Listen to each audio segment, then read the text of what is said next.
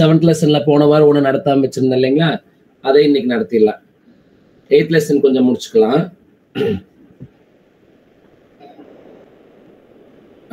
Eighth lesson எடுத்துக்கங்க. எல்லாரும் book வச்சிருப்பீங்கன்னு நினைக்கிறேன்.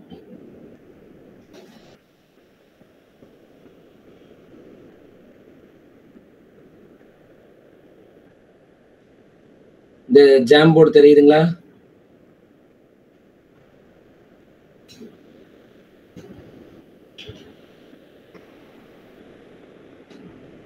சமி இந்த போர்டு தெரியுதா? ஒயிட் போர்டு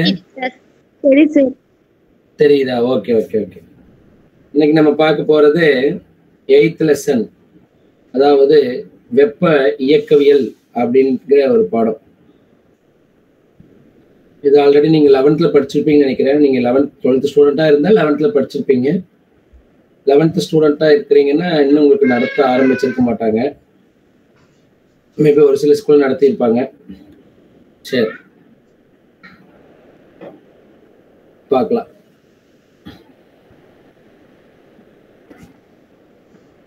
ஒரு நிமிஷம்.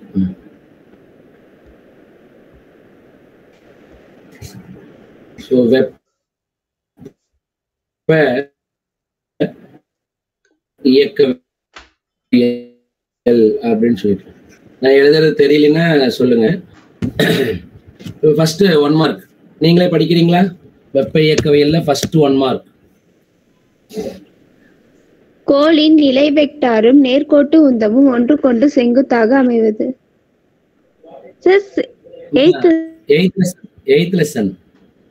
சார் நான் சிக்ஸ்த் எடுத்து வச்சுட்டேன். அதான் அதான் எயித் லெசன் போங்க. அதெல்லாம் நடத்திட்டோம் அன்னைக்கு உங்களுக்கு ஞாபகம் இல்லையா? இருக்கு சார் ஆனா எடுக்கும்போது தப்பா எடுத்துட்டேன் சார். அதான் அதான் அதான் வெப்பமான கோடை காலத்தில் சாதாரண நீரில் குளிர்ந்த பின்னர் நமது உடலின் ஒரே நிமிஷம். சும்மா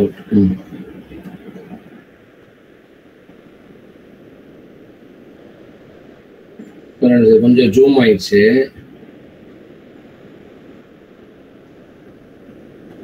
கொஸ்டின் என்ன கொஸ்டின் வெப்பமான கோடை காலத்தில் சாதாரண நீரில் குளித்த பின்னர் நமது உடலினுடைய அக ஆற்றல் குறையும் அக ஆற்றல் அதிகரிக்கும் வெப்பம் குறையும் அக ஆற்றல் மற்றும் வெப்பத்தில் மாற்றம் நிகழாது அப்படின்னு சொல்லி கொடுத்துருக்காங்க. அதாவது என்ன சொல்றாங்க அப்படின்னு சொன்னோம்னா வெப்பமான கோடை காலம். அப்படிங்கும்போது சுற்றுப்புறம் பார்க்கும்போது நம்ம எப்படி இருக்கோம் அப்படின்னு சொன்னோம்னா கொஞ்சம் வெப்பநிலை அதிகமா இருக்கும். கோடை காலம்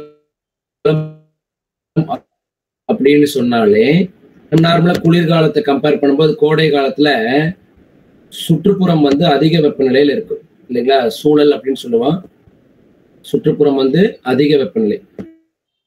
அப்ப அந்த அதிக வெப்பநிலை நம்ம பாடியில கொஞ்சம் வெப்பநிலை அதிகமா இருக்கிற மாதிரி இருக்கும். இப்ப என்னன்னா அந்த நேரத்துல சாதாரண நீரில் வெந்நீர்ல குளிக்கிறது இல்ல சாதாரண நீர்ல நம்ம குளிக்கிறோம் அப்படின்னு சொன்னோம்னா அப்ப என்ன நடக்கும்? அந்த சாதாரண நீர் வந்து நம்ம உடம்பு மேல படும்போது நம்ம உடம்புக்குள்ள இருக்கக்கூடிய அந்த வெப்பத்தை இந்த தண்ணீர் நம்ம குளிக்கிறோம் இல்லைங்களா? அந்த தண்ணீர் வந்து அந்த வெப்பத்தை வாங்கும். அப்ப என்ன ஆகும்? நம்ம உடம்புக்குள்ள இருக்கக்கூடிய வெப்பநிலை குறையுது அப்படின்னு சொன்னால் ஆட்டோமேட்டிக்கா அக ஆற்றலும் குறைஞ்சிரும். புரியுதா? என்ன சொல்றோம்னு? கோடை காலத்துல சுற்றுப்புறத்தினுடைய வெப்பநிலை அதிகமா இருக்கும். ஸோ நம்மளுடைய பாடி வெப்பநிலையும் அதிகமாகும். அப்போ நம்ம வந்து குளிர்ந்த நீர்ல குளிக்கும் போது அந்த குளிர்ந்த நீர் என்ன பண்ணும்? நம்ம பாடியினுடைய வெப்பநிலையை வாங்கிக்கும். வெப்பச்சமநிலையை வாங்கணும் இல்லைங்களா? வெப்பச்சமநிலையை அடையணும். அப்ப அந்த வெப்பத்தை வாங்கிக்கும் பொழுது நம்ம உடல் நிலையினுடைய வெப்பநிலை குறைஞ்சிரும் வெப்பநிலை வெப்பநிலை குறைந்தால் அக ஆற்றலும் குறையும் அப்படின்னு சொல்லலாம் அக ஆற்றல் நம்ம உடம்புக்குள்ள இருக்கக்கூடிய அந்த ஆற்றல் தான் அக ஆற்றல்னு சொல்றோம். அந்த அக ஆற்றல் குறைஞ்சிரும் அப்படின்னு சொல்லலாம். புரிஞ்சுதான் நான் என்ன சொன்னேன்னு? புரிஞ்சுதா சாமி? சரி புரியலன்னா சொல்லுங்க ஓகே? ரெண்டாவது ஒன் மார்க் படிங்க பாப்பா யாராவது? சார்லஸ் விதியின்படி பருமன் மற்றும் வெப்பநிலைக்குமான வரைபடம். வரைபடம். இப்ப நம்ம டென்த்லயும் இதை பத்தி படிச்சிருப்பீங்க லெவன்த்லயும் இதை பத்தி படிச்சிருப்பீங்க. அதாவது வாயில் விதி அப்படின்னு ஒண்ணு படிப்போம். வாயில் விதி என்ன சொல்லுது? பிவி ஈக்குவல் டு மாறிலி. பாருங்க நம்மளுக்கு ஒரு விஷயம் தெரியணும். என்ன அப்படின்னு சொன்னோம்னா நல்லியல்பு வாயு சமன்பாடுன்னு படிச்சிருப்போம் படிச்சிருக்கீங்களா? வாயு சமன்பாடு அப்படின்னு சொல்லி. வாயு சமன்பாடு. யாருக்கா ஞாபகம் இருக்கா? வாயு சமன்பாடு? வாயு சமன்பாடு யாருக்கா ஞாபகம் இருக்கா? பாருங்க பிவி ஈக்குவல் டு என்கேடி அப்படின்னு ஒரு ஃபார்முலா இருக்கு. இல்லைன்னா PV equal to small NRT அப்படின்னு ஒரு ஃபார்முலா இருக்கு.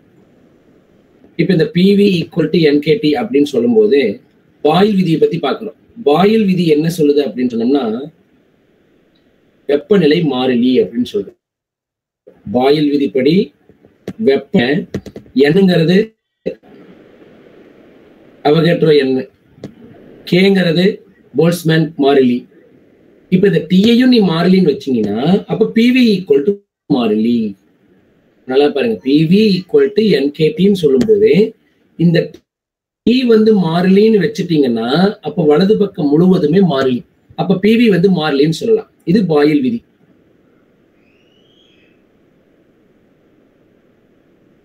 அடுத்தது பாருங்க. சார்லியும் படிச்சிருக்கிறீங்க. சார்லஸ் விதி. இதே பிவி ஈக்குவல் டு என்கேடி சொல்றோம் இல்லைங்களா? இதுல நம்ம என்ன பண்ணுவோம் அப்படின்னு சொன்னோம்னா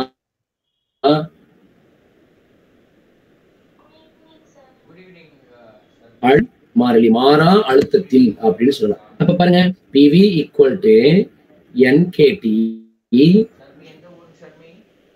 அப்ப P V equal to NK divided by P into T அப்படின்னு சொல்லலாம். அடுத்த பேஜ் போறேன். என்ன படிச்சிருந்தோம்? என் சரி. வி ஈக்குவல் டு பாருங்க இந்த என்கே டிவைடட் பை பிங்கிறது என்னது? மாறிலி. இது மாறிலி. மாறிலி இன்டு டி மாறிலி எடுத்துட்டோம்னா என்ன சொல்லலாம்? வி ஆனது டீக்கு நேர்த்தகவே. அப்படின்னா விக்கும் இந்த டீக்கும் ஒரு கிராஃப் போடுறோம். இது வி இது வந்து டி வி என்பது பருமன் டி என்பது வெப்பநிலை. மாறா அழுத்தத்தில் அப்படின்னு சொன்னால் இந்த இடத்துல இந்த கிராஃப் எப்படி இருக்குன்னு கேட்டா நேர்கோடாக இருக்கும் ஆப்ஷன் இருக்குதா? நான் சொன்ன ஆப்ஷன் இருக்குதா? இருக்கு சார் சார்லஸ் விதியின்படி பருமனுக்கும் வெப்பநிலைக்கும் ஒரு வரைபடம் வரைஞ்சீங்கன்னா அந்த வரைபடத்தினுடைய தன்மை எப்படி இருக்கும்? நேர்கோடாக இருக்கும் அப்படின்னு சொல்லலாம். ஓகே அடுத்தது மூணாவது ஒன் மார்க் பார்க்கிறோம். சைக்கிள் டயர் திடீரென்று வெடித்து அதிலுள்ள காற்று விரிவடைகிறது. இது என்ன நிகழ்வு அப்படின்னு சொன்னால் இது இந்த இதுக்கு பேர் என்ன நிகழ்வுன்னு பார்க்குறோம். முதல்ல இந்த நிகழ்வுகளை பார்க்குறோம். நிறைய நிகழ்வுகள் இருக்கு. நம்ம நம்மளுடைய புக்கு நாலு நிகழ்வு இருக்கு. ஒண்ணு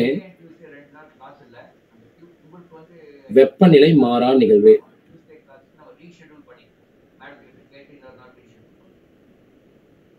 வெப்பநிலை மாறா அதாவது வெப்பநிலை மாறிலி. இது ஒரு நிகழ்வு. ரெண்டாவது நிகழ்வு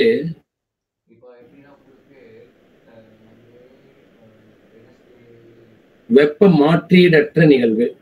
வெப்ப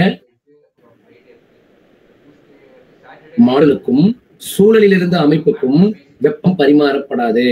வெப்பம்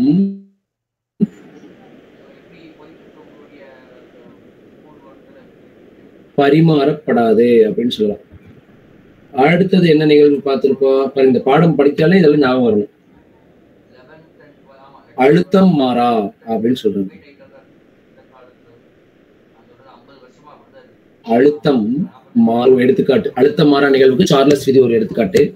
வெப்பநிலை மாறா நிகழ்வுக்கு பாயில் விதி ஒரு எடுத்துக்காட்டு. இப்ப அழுத்தம் மாறா நிகழ்வு அப்படின்னு சொல்லிட்டோம்னா ஆஹ், பி மாறிலி அப்படின்னு சொல்லலாம். அடுத்தது பருமன் மாறா நிகழ்வு அப்படின்னு சொல்லலாம் அடுத்து என்னங்க? பருமன் வி வந்து மாறிலி. அவ்வளவுதான் பாருங்க. வெப்பநிலை மாறாது. ஒண்ணு வெப்ப மாற்றீரற்ற நிகழ்வு. வெப்பம் பரிமாறப்படாது. அழுத்தம் மாறா நிகழ்வு.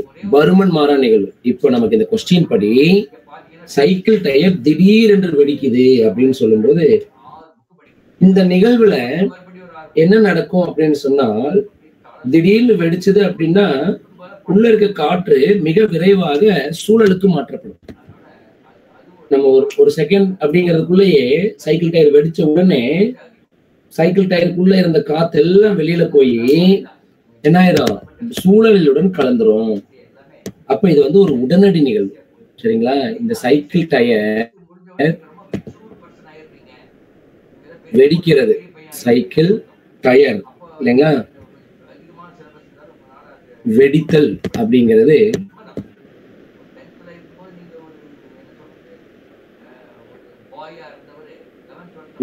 இந்த உடனடி நிகழ்வு நடந்ததுன்னா வெளியில உள்ள டயருக்குள்ள இருக்கிற காத்தெல்லாம் வெளியில போய் சீக்கிரமா பரவிடுச்சு அப்ப இந்த இந்த இடத்துல என்ன நடக்கும் அப்படின்னு சொன்னோம்னா அதிக வெப்பநிலையில் உள்ள வெளிக்காற்றில இருந்து வெளியில வந்து நம்ம அதிக வெப்பநிலை இருக்கு இல்லைங்களா? ஏன்னா நம்ம வந்து டயருக்குள்ள கம்பேர் பண்ணும்போது வெளிப்புற சூழ்நிலை வந்து அதிக வெப்பமா இருக்கு. அப்ப இந்த இடத்துல வந்து இரண்டு பக்கமும் வெப்ப வந்து இந்த காற்று மூலக்கூறுகள் பரிமாறிக்கொள்ளப்படும் போது இது ஒரு உடனடி நிகழ்வா இருக்குது அப்படின்னு சொல்லும் பொழுது இந்த வெப்ப பரிமாற்றம் என்பது ஏற்படவே ஏற்படாது. ஏன்னா இது வந்து மீ மெது நிகழ்வுன்னா பரவாயில்ல. ஆனா இது வந்து பாத்தீங்கன்னா உடனடியா திடீர்னு வெடிச்ச உடனே காற்று மூலக்கூறுகள் வந்து டக்குன்னு வெளியில போய் எல்லாத்தோடய பரவிடுது. அப்ப எல்லாத்துக்கூடயும் போய் மிக்ஸ் ஆயிருது. அப்போ வெளியில இருக்கக்கூடிய வெப்பம் உள்ளேயோ உள்ள இருக்கக்கூடிய வெப்பம் வெளியவோ போகிறதுக்கு வாய்ப்புகள் குறைவே. அப்ப இந்த நிகழ்வை நம்ம என்னன்னு சொல்லலாம்னு சொன்னா வெப்ப பரிமாற்றம் இல்லாத ஒரு நிகழ்வுன்னு சொல்லலாம். வெப்பநிலை மாறா நிகழ்வுன்னு சொல்ல முடியாது அழுத்த மாறா நிலைன்னு சொல்ல முடியாது பருமன் மாறா நிலைன்னு சொல்ல முடியாது காற்று விரிவடைஞ்சிருச்சு. அப்ப இந்த இடத்துல வெப்ப பரிமாற்றம் உடனடியாக இந்த நிகழ்வின் மூலமாக நடக்கிறது கிடையாது. அப்ப இந்த சைக்கிள் டயர் திடீரென்று வெடிக்கும் போது அந்த காற்று மூலக்கூறுகள் வெளியில இருக்கக்கூடிய காற்று மூலக்கூறுகள் பரவும் பொழுது டக்குன்னு வந்து அந்த வெப்ப பரிமாற்றம் என்பது ஏற்படாது. அதனால இந்த நிகழ்வை நான் என்னன்னு சொல்லிக்கலாம் அப்படின்னு சொன்னோம்னா வெப்ப பரிமாற்றம் இல்லா ஒரு நிகழ்வு அப்படின்னு சொல்லலாம். சரிங்களா? இதுதான் மூணாவது ஒன்மார்க் நாலாவது ஒன்மார்க் படிங்க. புரியலீங்கன்னா கேளுங்க மறுபடியும் நடத்துறேன். நாலாவது ஒன்மார்க் ஒரு நல்லியல்பு வாயு ஒன்று P one V one T one N என்ற சமநிலை நி- நிலையில் to P one three P one T two N என்ற மற்றொரு சமநிலை நிலைக்கு சென்றால் சென்றால் என்ன நடக்கும்? வெப்பநிலைகள் எப்படி அந்த இருக்கும்? என்ன தொடர்பு? ஆரம்ப வெப்பநிலைக்கும் இறுதி வெப்பநிலைக்கும் கேட்குறாங்க ஒரு நல்லியல்பு வாயு ஒன்று ஆரம்பத்தில் பாருங்க P one V one T one T one இல்லைங்களா என் இப்படி இருக்கக்கூடியது வேறு நிலைக்கு மாறுது என்ன நிலைக்கு மாறுது? Two P one two P one அப்புறம் பார்த்தீங்கன்னா த்ரீ வி ஒன் அதுக்கப்புறம் பார்த்தீங்கன்னா டி டூ இந்த டி டூ தான் என்னன்னு தெரியலேங்கிறாங்க. அதை கண்ணுடி சொல்றாங்க. என் வந்து அப்படியே தான் இருக்கு. மூலக்கூறுகளின் எண்ணிக்கை அப்படியே தான் இருக்கு. ஆனா அழுத்தம் மாறிடுது. பி ஒன்கிற அழுத்தத்துல இருந்து டூ பி ஒன்கிற அழுத்தம் மாறிடுது. பி டூங்கிற அந்த வி ஒன்கிற அந்த பருமன் வந்து த்ரீ வி ஒன்கிற பருமனுக்கு மாறிடுச்சு. அப்படின்னா பாருங்க ஒரு சமநிலையிலிருந்து இன்னொரு சமநிலைக்கு செல்கிறது. வெப்ப சமநிலை அப்படின்னு சொல்றோம். வெப்ப சமநிலையில சமநிலை இல்லைங்களா? இங்க வந்து என் வந்து சமநிலையில இருக்கு. இந்த சமநிலையை அடையணும்னா ஆரம்ப வெப்பநிலை எப்படி இருந்திருக்கும்? இறுதி வெப்பநிலை. ஏன்னா எல்லாமே டி ஒன் தான் கண்டுபிடிச்சிருக்காங்க அப்ப டி டூவை கம்பேர் பண்ணும்போது டி ஒன் வந்து எப்படி இருந்திருக்கும் அப்படின்னு சொல்றாங்க. இப்ப இந்த இடத்துல நல்லியல்பு வாயு சமன்பாடு என்ன சொல்லுதுன்னு கேட்டா பிவி இந்த என்கே என்பது ஒரு மாறிலி. என்னும் மாறிலி கேவும் மாறிலி. என் பாருங்க இந்த இடத்துலயும் மாறல இந்த இடத்துலயும் மாறல. அப்ப அந்த மூலக்கூறுகள் எண்ணிக்கை மாறல. இன்னொன்னு வந்து கேங்கிறது போல்ஸ்மேன் மாறிலி அதுவும் மாறாது அப்படின்னு சொல்லிட்டான் அப்ப இந்த நிகழ்வுல என்ன சொல்லலாம்? PV by T equal to மாறிலின்னு எழுதிக்கலாம். எழுதிக்கலாங்களா? பிவி பை டி இல்லைன்னா இப்படி கூட எழுது ஒரு சமநிலையில பிவி ஈக்குவல் டு என்கேடி அப்படின்னா பி ஒன் வி ஒன் என்னை பத்தி அவங்க பேசவே இல்லை அதனால டி ஒன் இன்னொரு சமநிலை அப்படின்னு பார்த்தோம்னா P two V two equal to NK T two அப்படின்னு வச்சுக்கலாம். இப்போ நான் என்ன பண்ண போறேன்? ரெண்டையும் வகுக்க போறேன். அப்போ P one V one divide by P two V two அப்படின்னு எழுதிக்கலாம். ஈக்குவல் டு என்கே டி இதுல என்ன பண்ணலாம்? என் என் சமம். கேவு கேவு சமம். ஸோ ரெண்டையும் நான் வந்து கேன்சல் பண்ணிடுறேன் அப்போ என்ன இருக்கு நமக்கு?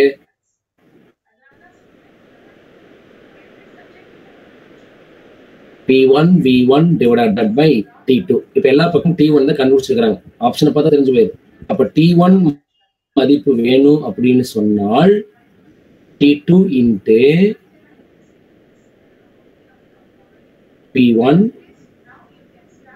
V one divide by கொடுக்கல. அப்போ P one into V one divided by P டூங்கிறது பொதுவாக என்னவா மாறிடுச்சுங்க?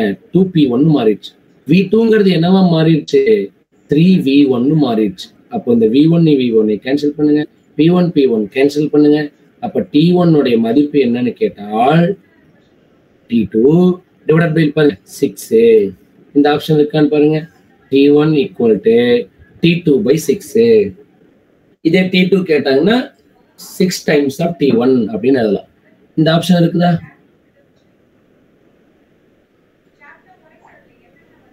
நம்ம இந்த ஆப்ஷன் இருக்குதா? இருக்கு சார் ஓகே ஓகே சரி அடுத்த கொஸ்டின் போயிடலாங்களா? அஞ்சாவது ஒன் மார்க் போலாம். படிங்க.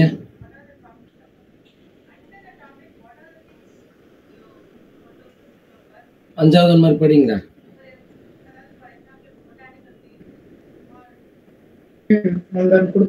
சீரான அடர்த்தி உள்ள தண்டு ஒன்றினை வெப்பப்படுத்தும் போது அத்தண்டின் பின்வரும் எப்பண்பு அதிகரிக்கும்? பாருங்க சீரான அடர்த்தி கொண்ட ஒரு தண்டு அப்படின்னு சொல்லிட்டாங்க. இதுதான் ஒரு தண்டு. இந்த தண்டினுடைய நீளம் எல்லுன்னு வச்சுக்கலாம். இதனுடைய நிறைய எம்னு வச்சுக்கலாம். எம் நிறையும் எல் நீளமும் கொண்ட ஒரு தண்டை எடுத்துக்கிறோம். இந்த தண்டை வெப்பப்படுத்தும் போது என்ன ஆகும்னு கேட்குறேன் நமக்கு தெரிஞ்சதெல்லாம் ஒண்ணுதான். தண்டை வெப்பப்படுத்தினா அந்த தண்டினுடைய நீளம் வந்து அதிகமாகும். ஏன்னா வெப்பப்படுத்தின மூலம் என்ன ஆகுங்க? அந்த மூலக்கூறுகள் விரிவடையும். அப்ப அந்த தண்டினுடைய நீளத்தை அதிகரிக்கலாம். நமக்கு தெரிஞ்சதுபடி இதுல என்னென்ன இருக்கு பாரு? நிறை இருக்கு எடை இருக்கு நிறை மையம் இருக்கு நிலைம திருப்புத்திறன் நிறை வந்து மாறாது எடையும் மாறாது. நிறை மையம் இருக்கு. அதுவும் தண்டு நீளம் அதிகமாச்சுன்னா கரெக்டா அது சென்ட்ரலையே தான் இருக்கும் அந்த நிறை மையம் என்பது. எவ்வளவு நீளம் அதிகமாகுதோ அது வந்து ஒரு சீரான ஒரு வடிவமுடைய ஒரு தண்டு இது. அப்ப அந்த வடிவத்தினுடைய மையம் எதுவோ அதுதான் வந்து நிறை மையம்னு சொல்ல போறோம். அது கம்பெனியுடைய நீளமே அதிகரிச்சாலும் அதே தான் இப்ப இதே நிலைம திருப்புத்திறன் பாருங்க. சீரான தண்டுக்கு நிலைம திருப்புத்திறன் பார்த்தோம்னா இதை நம்ம வந்து அஞ்சாவது பாடத்துல ஒன்னு பை பன்னெண்டு எம் எல் ஸ்கொயர்னு படிச்சிருக்கோம். இப்ப இந்த தண்டினுடைய வெப்பநிலை அதிகரித்தால் அப்ப இந்த நீளம் அதிகமாச்சுன்னா கண்டிப்பா என்னாகும்? இந்த ஐங்கிற நிலைம திருப்பத்திறன் மாறும் அதிகமாகும்னு சொல்லலாம். ஏன்னா நீளம் அதிகமாகும் போது நீளம் ஒரு மடங்கு அதிகமாகுதுன்னா ஒன்னு ஸ்கொயர்னு சொல்லலாம். ரெண்டு மடங்கு அதிகமாகுதுன்னா ரெண்டு ஸ்கொயர் நாலு மடங்கு இந்த நிலைம திருப்பத்திறன் அதிகமாகும். சரிங்களா? நீளம் அதிகரிக்கும் போது நிறை அதிகரிக்காது. எடையும் அதிகரிக்காது. நிறை ஏன்னா நிறையே மாறாது. நிறை எதை பொறுத்து மாறாதுன்னு சொல்லிக்கிறோமே. நிறை அப்படியே தான் இருக்கும். நிறை மாறாத போது டபிள்யூ ஈக்குவல் டு எம்ஜி புவியீர்ப்பு முடுக்கமும் அந்த இடத்துல மாற போறது இல்லை அப்ப எடையும் மாறாது. இது வந்து சீரான தண்டு தான். ஸோ நிறை பரவலாகத்தான் இருக்கும். எல்லா பக்கம் இருந்து பார்க்கும்போது சீராகத்தான் நிறை பரவி இருக்கும். அப்ப நிறை மையமும் மாறாது. அப்ப என்ன மாறலாம்? நீள் வெப்பநிலை அதிகரிப்பதன் காரணமாக நீளம் அதிகரிக்கப்படலாம். நீளம் அதிகரிக்கப்படுவதன் காரணமாக இந்த இடத்துல நிலைம திருப்புத்திறன் அதிகமாகும். அப்படின்னு சொல்லலாம். நிலைம திருப்புத்திறன் திறன். நம்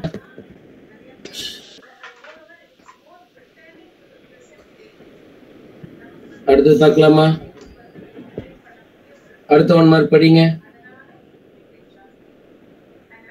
ஆறாவது ஒன் மார்க் மூடப்பட்ட ப- பாத்திரத்தினுள் உணவு சமைக்கப்படுகிறது. சிறிது நேரத்திற்கு பின் நீராவி பாத்திரத்தின் மூடியை சற்றே மேலே தள்ளுகிறது. நீராவியை வெப்ப இயக்க அமைப்பு என்று கருதினால் இந்நிகழ்விற்கு பொருத்தமான கூற்று எது? நீரா மூடப்பட்ட பாத்திரத்தினுள் இல்லைங்களா? ஒரு பாத்திரம் இருக்குது. அந்த பாத்திரத்துல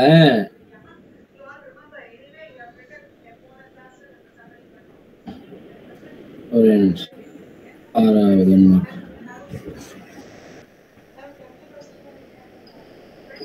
இப்படி ஒரு பாத்திரம் இருக்கு. இதுல வந்து உணவு சமைச்சிட்டு இருக்கிறோம். நம்ம வந்து இங்க வந்து வெப்பப்படுத்திட்டு இருக்கிறோம். அப்ப இதுக்குள்ள இருக்கக்கூடிய நீர்ம மூலக்கூறுகள் எல்லாமே கொதிக்க ஆரம்பிக்குது. இது மேல வந்து ஒரு தட்டு போட்டு இது மேல வந்து ஒரு தட்டு போட்டு மூடி வச்சிருக்கிறோம். இப்ப இந்த நீரெல்லாம் என்னாலும் கொதிச்சு நீராவி மேல போகும். நீராவி மேல போக சிறிது நேரத்திற்கு பின் இந்த நீராவி பாத்திரத்தினுடைய மூடிய மேல தள்ளிக்கிட்டே இருக்கும். இதெல்லாம் நீங்க பார்த்துருப்பீங்க. மூடி வச்சு சமைக்கும் போது அந்த நீர் ஆவி வந்து கொதிச்சுட்டு நீர் ஆவி வந்து மேல வரும்பொழுது போறதுக்கு வழி இல்லாமல் ஏன்னா அழுத்தம் அதிகமாகுது இல்லைங்களா? வெப்பநிலை அதிகமாக அதிகமாக அந்த இடத்துல வந்து பாத்தீங்கன்னா உள்ளுக்குள்ள கம்ப்ரஸ் பண்ணி வச்சிருக்கிறோம் அழுத்தம் அதிகமாகும் மூடியை தள்ளி விடும் வாயு விரிவடையணும் இல்லையா? மூடியை தள்ளி விடும் அப்படி தள்ளி விடும்போது இந்த நீராவியை வெப்ப இயக்க அமைப்பு அப்படின்னு கருதுனீங்கன்னா இந்த நிகழ்வுக்கு பொருத்தமானது எதுன்னு கேட்கறாங்க அவங்களே ஆப்ஷன் கொடுத்துருக்காங்க. என்னென்னு கேட்டா கியூ அதிகம் ஜீரோவை விட அதிகம். அதனால் வே- செய்யப்பட்ட வேலையும் ஜீரோவை விட அதிகம். ரெண்டாவது என்ன கொடுத்துருக்காங்க பாருங்க. கியூ வந்து குறைவு அப்படின்னு அமைப்புல இருந்து வெப்பம் வெளியில போகுதுன்னு அர்த்தம். அப்ப செய்யப்பட்ட வேலை அதே தான் அதிகம்தான்.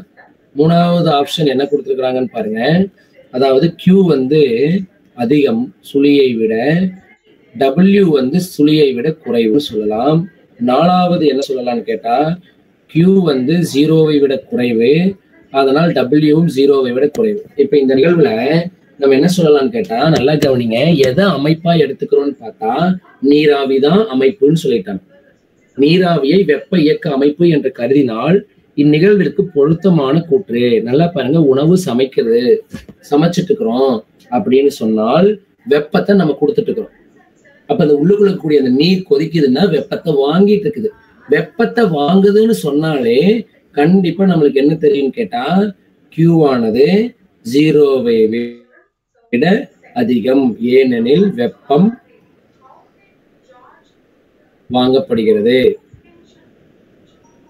வெப்பம் அளிக்கப்படுகிறது அமைப்புக்கு வெப்பம் அளிக்க இந்த அமைப்புக்கு வெப்பம் அளிக்கப்படுகிறது அப்ப வெப்பம் அளிக்கப்படுகிறதுனா Q is greater than zero இதுல பாருங்க கண்டிப்பா ரெண்டாவது ஆப்ஷன் வராது.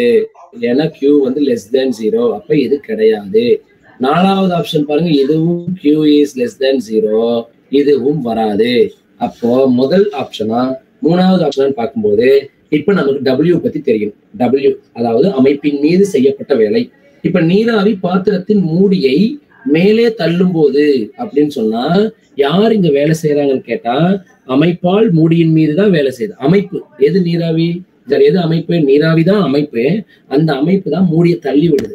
நாமெல்லாம் எதுவும் தள்ளல. நாம தள்ளனா அமைப்பின் மேல வேலை செஞ்சிருக்கிறோம். ஆனா இங்க நீராவியே போறதுக்கு இடம் இல்லாம அந்த மூடியை தள்ளி விடுதுன்னா அமைப்பு வேலை செய்கிறது. நம்ம எயித் லெசன்ல படிச்சிருப்போம். அமைப்பு வேலை செஞ்சதுன்னா டபிள்யூ வந்து கிரேட்டர் தேன் ஜீரோ அமைப்பின் மீது நம்ம வேலை செஞ்சோம்னா W லெஸ் தேன் ஜீரோ அப்ப இந்த இடத்துல என்ன ஆகுது? நீராவி தான் அமைப்பு. அதுதான் வேலை செய்யுது.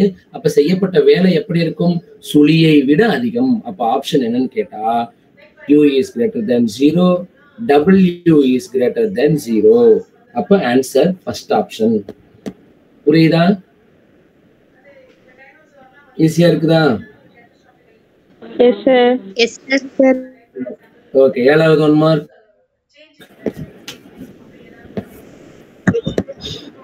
ஒரு நிமிஷம் ஒரே நிமிஷம் இருங்க. இப்ப என்னன்னா பாருங்க. வெப்பம் அழிக்கப்படுகிறது அப்படின்னு சொன்னால் அமைப்புக்கு அமைப்புக்கு வெப்பம் அளிக்கப்படுகிறது எங்க கொடுக்குறோம்னு முதல்ல பார்க்கணும். அமைப்பிற்கு சரிங்களா? அமைப்பிற்கு வெப்பம் வெளிவிடப்படுகிறது அப்படின்னு சொன்னா அதாவது அமைப்பு வெப்பத்தை வெளிவிடுது. வெப்பம் வெளிவிடப்படுகிறது. வெளிவிடப்படுகிறது.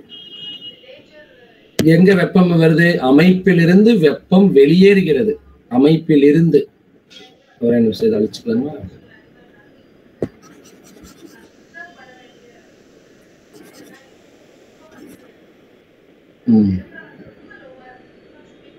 அமைப்பில் இருந்து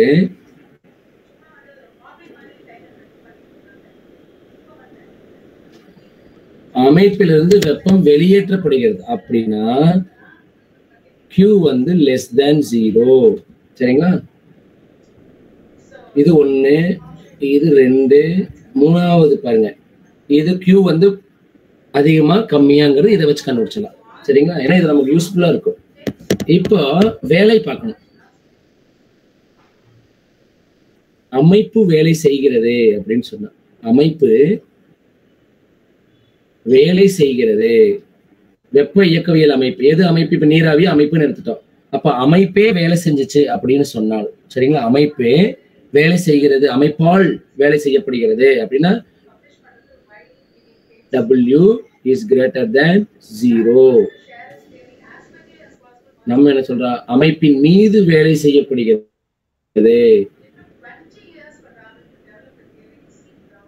அமைப்பின் வந்து லெஸ் தேன் ஜீரோன்னு சொல்லிக்கிறோம். இந்த நாலு விஷயத்த நம்ம தெரிஞ்சு வச்சிருந்தோம்னா இந்த ஏ- அடுத்தடுத்த ஒன் மார்க் ஒரு மூணு ஒன் மார்க் இந்த மாதிரி இருக்கு. இப்ப ஏழாவது ஒன் மார்க் நீங்களே படிங்க. நாம் அதிகாலை உடற்பயிற்சி செய்யும் நிகழ்வில் நமது உடலை ஒரு வெப்ப இயக்க அமைப்பு என்று கருதினால் கீழ்கண்டவற்றுள் பொருந்தம பொருத்தமான கூற்று எது? அதாவது நாம் அதிகாலை உடற்பயிற்சி செய்கிறோம். அப்படின்னா நமது உடலை ஒரு அமைப்புன்னு கருதினால் கீழ்கண்டவற்றுள் எது பொருத்தமானது அப்படின்னு கேட்குறாங்க என்னென்ன ஆப்ஷன் கொடுத்துருக்காங்கன்னு பாருங்க. Delta U is greater than zero W is greater than zero delta யூனா பாருங்க எழுதுறேன் டெல்டா யூனா அக ஆற்றல் மாறுபாடு அப்படின்னு சொல்லி ஆகலாம் டபிள்யூங்கிறது உங்களுக்கே தெரியும். வேலை. அடுத்தது பாருங்க delta U less than zero W greater than zero மூணாவது பாருங்க delta U greater than zero less than ஜீரோவா மூணாவது ஒரு மூணாவது ஆப்ஷன் வந்து delta U less than zero double யூம் less than zero நாலாவது என்னன்னு பார்த்தா delta U equal to zero W greater than zero அப்படின்னா இப்போ என்ன சொல்றாங்க? அதிகாலையில் நம்ம உடற்பயிற்சி செய்யறோம். செய்யறதுனால என்ன ஆகும் நம்ம உடல் ஒரு வெப்ப இயக்க அமைப்புன்னு எடுத்துக்கிட்டா இது என்ன நடக்கும்? உடற்பயிற்சி செய்யும் போது நம்ம உடம்பிலிருந்து வெப்பம் வெளியேறும். சரிங்களா? உடற்பயிற்சி செய்யறதுன்னா வெப்பம் வந்து வேலையில போகும். அப்ப அமைப்பால் வேலை செய்யப்படுகிறது அப்படின்னு சொல்லி என்ன சொல்றோம்? அமைப்பால் வேலை செய்யப்படுகிறது. அமைப்பு நம்ம உடல் தானே வேலை. நம்ம உடல்ல இருந்து தானே வெப்பம் வெளியில போகுது. அப்ப அமைப்பு தானே வேலை செய்யுது. அப்ப அமைப்பால் வேலை செய்யப்படும் போது நம்ம என்ன சொல்லணும் இதுக்கு முன்னால? டபுள்யூ கிரேட்டர் தேன் ஜீரோ எங்கெங்கெல்லாம் டபுள்யூ கிரேட்டர் தேன் ஜீரோ இருக்குது? First option fourth option third option அப்ப கண்டிப்பா சரி தேர்ட் இல்ல ஃபோர்த் கண்டிப்பா தேர்ட் ஆப்ஷன் கிடையாது. டபுள்யூ கிரேட்டர் தேன் ஜீரோனா மூணு ஆப்ஷன்ல இருக்குது. இதுல எதுன்னு பார்த்தா இப்ப உடல் வேலை செய்யுது. இவ்வாறு நம்ம என்ன பண்றோம்? நம்மளுடைய அமைப்பு அதாவது நம்ம உடல் தான் அமைப்பு இது வேலை செய்யுது. செய்யறதுனால நம்ம உடல்ல இருந்து வெப்பநிலை வெப்பம் வெளியில போகுது. அப்ப நம்ம உடலினுடைய வெப்பநிலை குறையும். அப்படின்னு சொன்னால் வெப்பநிலை குறையும் போது அக ஆற்றலும் குறையும். இங்க எது அக ஆற்றல் குறையுது? ரெண்டாவது ஆப்ஷன் அப்படின்னு சொன்னா. புரியுதா என்ன சொல்றேன்னு? அமைப்பே வேலை செய்யுது அப்படின்னு சொன்னா W is greater than zero இந்த அமைப்பு வேலை செய்யறதுனால உடலினுடைய வெப்பநிலை குறையுது. அதனால டெல்டா யூ அக ஆற்றல் மாறுபாடும் ஜீரோவை விட குறைவு அப்படின்னு சொல்லலாம். இதுதான் இந்த ஏழாவது ஒன் மார்க் அடுத்த ஒன் மார்க் பார்க்கலாங்களா? எட்டாவது என்ன சொல்லியிருக்கிறாங்கன்னு? கொஸ்டின் பாருங்க. மேசை மீது வைக்கப்பட்ட சூடான தேநீர் சிறிது நேரத்தில் சூழலுடன் வெப்ப சமநிலையை அடைகிறது. ஒரு மேசை இருக்குது. இந்த இடத்துல ஒரு டம்ளர் வச்சிடறாங்க. இந்த டம்ளர்ல சூடான தண்ணி இருக்குது. இந்த தண்ணி வந்து சூடா இருக்கு. ஸோ இதுல இருந்து ஆவி வந்து வெளியில போயிட்டு இருக்கு இது சூழலுடன் கொஞ்ச நேரம் கழிச்சு இந்த சூழலுடன் வெப்பச்சமநிலை அடைகிறது. ஏன்னா இதுல இருக்கக்கூடிய வெப்பம் வெளியில போகும்போது அங்க இருக்கக்கூடியது இதுவும் சேர்ந்து இரண்டும் வெப்பச்சமநிலை அடைஞ்சிரும் அப்படிங்க. இப்ப அறையில் உள்ள காற்று மூலக்கூறுகள். இந்த அறையில காற்று மூலக்கூறுகள் நம்ம கண்ணுக்கு தெரியாமல இருக்கு இல்லையா? இந்த காற்று மூலக்கூறுகளை வெப்ப இயக்கவியல் என்ற அமைப்பு என்று கருதினால் கீழ்கண்டவற்றுள் எந்த கூற்று பொருத்தமானது? என்னென்ன கூற்று கொடுத்துருக்காங்க பாருங்க. ஒன்று என்னது? Delta U greater than zero Q equal to zero ரெண்டாவது ஆப்ஷன் என்னது?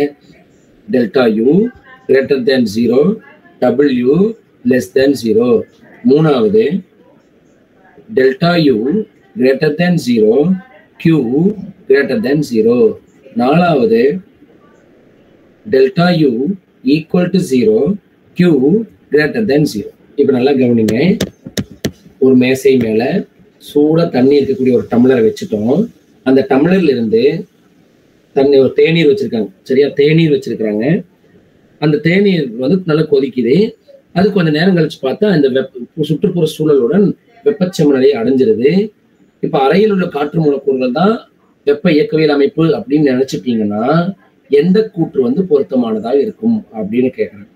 அப்ப பாருங்க வெப்பம் வெளியில போகுது. வெப்பம் வெளியில போகுது. எங்க போகுது? அமைப்புக்கு போகுது.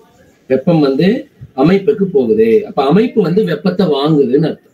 புரியுதுன்னு என்ன சொல்றேன்? இங்க எது அமைப்புன்னு சொல்றோம்? காற்று மூலக்கூறுகள். காற்று மூலக்கூறுகள் என்ன பண்ணுது? தேநீரிலிருந்து வரக்கூடிய வெப்பத்தை வாங்கிக்குது. அப்ப தேநீர்லேருந்து வரக்கூடிய வெப்பத்தை வாங்கிக்குது அப்படின்னு சொன்னோம்னா சூழல் வந்து இந்த ஏன்னா இந்த சூழலை இருக்கக்கூடிய காட்டு மூலக்கூறுகள் தானே நம்ம வந்து அமைப்புன்னு சொல்றோம் அமைப்பு தானே அந்த தேனிலிருந்து வெப்பத்தை வாங்கிக்குது. அப்போ கண்டிப்பா கியூ வந்து என்னவா இருக்கும்னு கேட்டா கிரேட்டர் தென் ஜீரோவா இருக்கும். வெப்பத்தை வாங்குது அப்படின்னு சொன்னால் கிரேட்டர் தென் ஜீரோ வெப்பத்தை கொடுக்குது அப்படின்னு சொன்னா லெஸ் தென் ஜீரோ இங்க அமைப்பு வந்து தேநீர் எடுத்திருந்தா கியூ லெஸ் தென் ஜீரோ ஆனா நம்ம என்ன பண்றோம்? காற்று மூலக்கூறுகள் தான் அமைப்பு. அது தேநீரிலிருந்து வெப்பத்தை வாங்கிக்குது. ஏன்னா வெப்பநிலை அதிகமாகுதுலயே தேநீரிலிருந்து வெப்பத்தை வாங்கிக்குது. அப்ப கியூ வந்து கிரேட்டர் தேன் ஜீரோ அப்ப கண்டிப்பா கியூ கிரேட்டர் தேன் ஜீரோன்னு சொல்லும் போது ஃபர்ஸ்ட் ஆப்ஷன் வராது. இல்லைங்களா? அதுக்கப்புறம் செகண்ட் ஆப்ஷனும் வராது. ஏன்னா வேலையை பத்தி அவங்க பேசவே கிடையாது. சரிங்களா? இப்போ கியூ வந்து வாங்கிடுச்சு இல்லைங்க. ரெண்டு ஆப்ஷன் இருக்கு. அக ஆற்றல மாற்றம் ஏற்படாதா? அப்படின்னு பார்த்தால் இப்ப இந்த வெப்பம் வந்து தேநீரிலிருந்து சூழலுக்கு மாத்துறதுனால சூழலினுடைய வெப்பநிலை அதிகமாகுது இல்லைங்களா? அதாவது இதுக்கு முன்னால இருந்தது இப்போ இந்த தேநீர்லேருந்து வாங்கினதுக்கு அப்புறம் கொஞ்சமா அதிகமாயிருக்கும் அப்படின்னு சொன்னால் நல்லா கவனிங்க. வெப்பநிலை அதிகமானால் அக ஆற்றல் அதிகரிக்கும். வெப்பநிலை அதிகமானால் அக ஆற்றல் அதிகரிக்கும். அப்ப பாருங்க இங்க வெப்பநிலை அதிகமாகுது. ஏன்னா காற்று மூலக்கூறுகள் தேநீர்ல இருந்து வெப்பத்தை வாங்கிக்குது அதனால வெப்பநிலை அதிகமாகுது. அதனால அகநிலை மா அகம் ஆற்றல் மாறுபாடு அதிகரிக்குது. அப்ப இது இங்க என்ன option delta U greater than zero Q greater than zero இந்த ஆப்ஷன் தான் கரெக்டு அப்படின்னு சொல்லலாம். சரிங்க இந்த ஆப்ஷன் தான் கரெக்ட் இப்ப அமைப்பின் மேலதான் வேலை செய்யறோம் அப்ப delta U is greater than zero Q is greater than zero அடுத்தது ஒன்பதாவது ஒன் மார்க் வாசிங்க இப்போ ஒன்பதாவது ஒன் மார்க் ஒரு டயக்ராம் எல்லாம் கொடுத்துருக்குறாங்க. ஒன்று. சொல்லுமா சொல்லுமா கரெக்ட் நல்லியல்பு வாயு ஒன்று பி விஐ என்ற தொடக்க நிலையிலிருந்து பிஎஃப் விஎஃப் என்ற இறுதி நிலைக்கு பின்வரும் மூன்று வழிமுறைகளில் கொண்டு செல்லப்படுகிறது. எவ்வழிமுறையில் வாயுவின் மீது பெரும வேலை செய்யப்பட்டிருக்கும்? அதாவது வழிமுறை ஏழு பாருங்க. ஏற மாதிரி இப்படி போட்டுக்கிறாங்க. அப்படின்னா இதுதான் விஐ இது வந்து விஎஃப்னு வச்சுக்கலாம். இப்போ இதுக்கு நேரம் பார்த்தோம்னா இதுதான் பிஐ இதுக்கு நேராக பிஎஃப் இது ஒரு வழிமுறை. அப்போ இந்த வளைவரை கீழே இந்த ரெண்டு கோடு போட்டுருக்கு பாருங்க. இதற்கு கீழே இருக்கக்கூடிய பரப்பை தான் நான் பார்க்கணும். இந்த பரப்பை தான் நான் பார்க்க போறேன். சரிங்களா? அவங்க என்ன கேட்கறாங்கன்னு கேட்டா எதுல பெருமை வேலை செய்யப்பட்டிருக்கும் கேட்கறாங்க வேலை அப்படின்னு சொன்னால் நான் என்ன வளைவரை வரைகிறனோ அதாவது இந்த பியையும் இந்த வியையும் பெருக்கணும்னா எனக்கு பிவி ஈக்குவல் டு வேலை வேலை என்பது ஒரு ஆற்றல். இப்ப இந்த வழிமுறை ஏலன்னு அந்த வேலையை கண்டுபிடிக்கிறேன். இப்ப வழிமுறை பி பார்க்க போறோம்.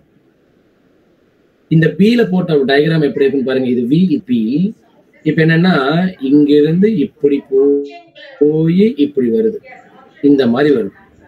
இப்போ இதுதான் வந்து விஐன்னு வச்சுக்கலாம். அப்ப இதுக்கு நேரா அப்ப இந்த இடத்துல என்ன பாருங்க. இந்த இடத்துல இதை நம்ம வந்து அட்டாச் பண்ணி இந்த இடத்துல இந்த லைன் அப்ப இது விஎஃப் இந்த லைன் அட்டாச் பண்றாங்க. இது வந்து பிஎஃப் சார் பிஐ இது வந்து பிஎஃப் இப்ப பாருங்க இதுக்கு கீ- கீழே இருக்கக்கூடிய பரப்பை நான் பார்க்கணும். இதுதான் செய்யப்பட்ட வேலை. இந்த பரப்பு தான் செய்யப்பட்ட வேலை. இப்ப வழிமுறை மூணு பாருங்க. வி பி அப்படின்னு போட்டுக்கிறோமா? இப்ப இந்த இடத்துல இப்படி இருக்கு. அப்போ இந்த இடத்துல ஒரு பி வேல்யூ இந்த இடத்துல ஒரு பி வேல்யூ இந்த இடத்துல ஒரு வி வேல்யூ இந்த இடத்துல ஒரு வி வேல்யூ இதற்கு கீழே இருக்கக்கூடிய பரப்பை நான் பார்க்க போறேன். இது கீழே இருக்கு. வளைவரைக்கு கீழே இருக்கக்கூடிய பரப்பை பார்க்க போறேன் இந்த மூணு பரப்புல எந்த பரப்பு அதிகமா இருக்கும்னு நீங்க நினைக்கிறீங்க? இந்த பிவி வரைபடத்துல இந்த வளைகோட்டுக்கு கீழே இருக்கக்கூடிய பரப்புல எந்த பரப்பு அதிகமா இருக்கும்னு நினைக்கிறீங்க?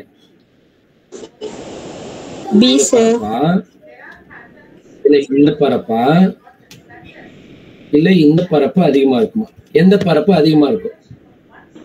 செகண்ட் டயக்ராம் வழிமுறை ஏவா வழிமுறை பிவா வழிமுறை சியா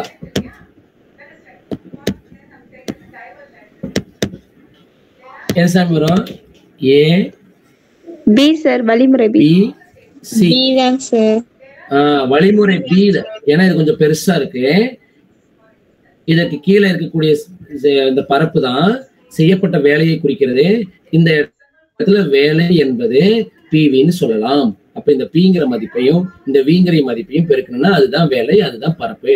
அப்போ இரண்டாவது நிலையில செய்யப்பட்ட வேலை தான் அதிகமாக இருக்குது அப்படின்னு சொல்லலாம். சரி பத்தாவது ஒன் மார்க் பார்த்தலாமா படிங்க பார்ப்போம் அவங்க ஒரு கிராஃப் கொடுத்துருக்குறாங்க. பத்தாவது ஒன் மார்க் படிங்க பார்ப்போம் டி இது வந்து பி சரி பி இல்லை வி படிங்க சார். பத்தாவது ஒன் மார்க் படிங்க A to B. B to C C to D என்ற மீள் சுற்று நிகழ்வில் உள்ள நல்லியல்பு வாயுவின் விடி வரைபடம் காட்டப்பட்டுள்ளது இங்கு டி டு ஏ மற்றும் பி டு சி இவ்விரண்டும் வெப்ப பரிமாற்றம் இல்லா நிகழ்வுகள் இச்செயல்முறையில் பொருத்தமான பிவி வரைபடம் எது. இச்செயல்முறைக்கு இப்ப நம்ம பார்க்கக்கூடிய இந்த செயல்முறைக்கு பொருத்தமான பிவி வரைபடத்தை வரைங்கிறாங்க பாருங்க இதுக்கு இப்ப நம்ம பிவி வரைபடம் வரைய போறோம். இதுக்கு வி இதுக்கு பி எந்த நாலு வரைபடம் அவங்களே கொடுத்துட்டாங்க. சோ எந்த வரைபடத்தை நம்ம வரைஞ்சிருந்தா நம்ம மேல சொன்ன விபி வரைபடத்துக்கு சமமான ஒரு பிவி வரைபடம் இருக்கும் அப்படின்னு கேக்குறாங்க. இப்போ இதுல பார்த்தா நம்ம இந்த நிலையை கொஞ்சம் புரிஞ்சுக்கணும் அப்படின்னு சொன்னால் ஒரு கிரீன் கலர் எடுத்துக்கலாமா? நீங்க பாருங்க. ஏங்கிற ஒரு புள்ளி பிங்கிற ஒரு புள்ளி. இப்ப இந்த ஏவுக்கும் பிக்கும் வரைஞ்ச வரைபடமும் ஆகட்டும் இந்த சிக்கும் டிக்கும் வரை வரை இந்த வரை வளைவரை பாருங்க நான் இந்த கோடு போட்டுறேன் பாருங்க. இந்த கோடும் இந்த கோடும் பாத்தீங்கன்னா நேர்கோடா இருக்கு. அதாவது ஏபி இப்படி நேர்கோடா இருக்கு. யார் யாருக்கு கிராஃப் போடும்போது ஏபி நேர்கோடா இருக்கு? டிக்கும் விக்கும் கிராஃப் போடும்போது. அப்ப இது ஒரு அழுத்தம் மாறான் நிகழ்வுன்னு சொல்லலாம். இந்த சிடிங்கிற நிகழ்வும் ஒரு அழுத்தம் மாறான் நிகழ்வுன்னு சொல்லலாம். இந்த பியிலிருந்து சிக்கு போற நிகழ்வும் டியிலிருந்து ஏக்கு வரக்கூடிய நிகழ்வும் அவங்களே சொல்லிட்டாங்க. வெப்ப பரிமாற்றம் இல்லா நிகழ்வு. அப்படின்னா வெப்பம் பரிமாறிக்கொள்ளப்படாது அமைப்பிலிருந்து சூழலுக்கும் சூழலிலிருந்து அமைப்புக்கும் எக்காரணத்தை கொண்டும் வெப்பம் பரிமாறப்படாது. இப்ப இதை தெரிஞ்சுக்கிறதுக்காக என்ன பண்றோம் அப்படின்னு சொன்னால் இந்த வீக் நேரா நான் ஒரு பாருங்க இது வேணா இந்த டயக்ராம் வேணா அழிச்சிடுறேன். மறுபடியும் முதல்ல இருந்து வேணா போடுறேன். இந்த வீட்டி வரைபடம் மட்டும் அழிச்சிடுறேன். ஏன்னா அதை வச்சு தான் நம்ம இப்ப எக்ஸ்பிளைன் பண்ணணும். இப்போ சம்பந்தம் இல்லாத நமக்கு ரெண்டு ஆப்ஷன்ல எது கரெக்டான ஆப்ஷன் அப்படின்னு நம்ம பார்க்கலாம். கவனிங்க. இப்போ ஒரு வரைபடம் வரைகிறாங்க இந்த மாதிரி ஒரு வரைபடம். இது அவங்க கொடுத்ததை தான் நான் வரைகிறேன். இந்த வரைபடத்துக்கு பேர் விடி வரைபடம்னு சொல்லலாம். அதாவது ஒய்எச்சில் பருமனையும் எக்ஸ்எச்சில் வெப்பநிலையும் கொண்டு ஒரு வரைபடம் வரைந்தால் அதற்கு பெயர் விடி வரைபடம். இப்ப இந்த நிகழ்வுல பார்க்கும்போது ஏபி இப்படி இருக்கு. அப்புறம் பி இப்படி பிசி இப்படி இருக்கு. அப்புறம் டிஏ இப்படி இருக்கு. அப்புறம் இப்படி வரும். இப்போ இதுல நம்ம பார்க்கும்போது கவனிங்க ஏவுல இருந்து பிக்கு நான் பார்க்கும்போது மாறா அழுத்தத்துல போகுதுன்னு வச்சுக்கிறேன். இப்ப நான் இந்த ரெண்டு சேர்ந்து ஒரு வரைபடம் வரைகிறேன். கவனி இந்த இடத்துல. அதாவது இப்படி ஒரு லைன் இருக்குதுன்னு வச்சுக்கோங்க. சரிங்களா? இப்படி ஒரு லைன் இருக்குதுன்னு வச்சுக்கோங்க. இதுக்கு பேர் பி இதுக்கு பேர் ஏ இதுக்கு பேர் சி இதுக்கு பேர் டி இந்த இடத்துல நேர ஒரு கோடு கோடு போடுறேன் சரிங்களா? நேராக ஒரு கோடு. பாருங்க. நேராக ஒரு கோடு போடுறேன்னா என்னத்தான் வி வந்து மாறிலி. இப்போ நான் போட்ட நேர்கோட்டுக்கு வி வந்து மாறிலி. ஏன்னா நேராக கோடு போட்டுங்க வீக்கு இந்த இடத்துல பாருங்க. இந்த வீக்கு நேராக ஒரு கோடு போட்டேன். அப்படின்னா இந்த நிகழ்வுக்கும் அதே தான் வி இந்த நிகழ்வுக்கும் அதே தான் வி அப்போ இதுக்கு நேராக பார்த்தோம்னா பி டூன்னு வரைவேன். இதுக்கு நேராக பார்த்தோம்னா பி ஒன்னு வரைவேன். இப்போ பி ஒன் தான் பார்த்தீங்கன்னா பெருசு. சரி பி ஒன் வந்து சின்னது பி டூ வந்து பெருசு. இதுக்கு நேரம் டி பார்த்தீங்கன்னா டி டூவும் பெருசு டி ஒன்னு சின்னது அப்படின்னு வரையில அப்ப பாருங்க. இந்த ஏபிங்கிறது இந்த பி டூ தானே பெருசுன்னு சொல்லிட்டோம். இந்த சிடி கிட்ட நேரம் இருக்கக்கூடிய பி ஒன் வந்து சின்னதுன்னு சொல்லிட்டோமா? அப்ப அந்த பி டூ வந்து உயர்ந்த அழுத்தத்துல இருக்குன்னு அர்த்தம். இப்ப பாருங்க பிங்கிற டயக்ராம் இந்த பிவி டயக்ராம்ல பி மேல போடுறோமா? அப்ப ஏபி மதிப்பு இப்படி இருக்கணும். சிடி மதிப்பு இப்படி இருக்கணும். இது ஏவா இருக்கணும் இது பியா இருக்கணும். இது சியா இருக்கணும் இது டியா இருக்கணும். இப்படிதான் இருக்கணும். புரியுது நான் என்ன சொல்றேன்னு? இந்த கோட்டுக்கு நேரம் இப்ப நான் வரைஞ்சிருக்கேன் பாருங்க. இது வந்து பி ஒன் இந்த கோட்டுக்கு நேரம் வரைஞ்சிருக்கு பாருங்க. இது வந்து பி டூ இப்ப நான் போட்ட கிராஃப்ல ஏபி வரைபடம் வந்து உயர்ந்த அழுத்தத்திலும் சிடி வரைபடம் வந்து குறைந்த அழுத்தத்திலும் இருக்கு.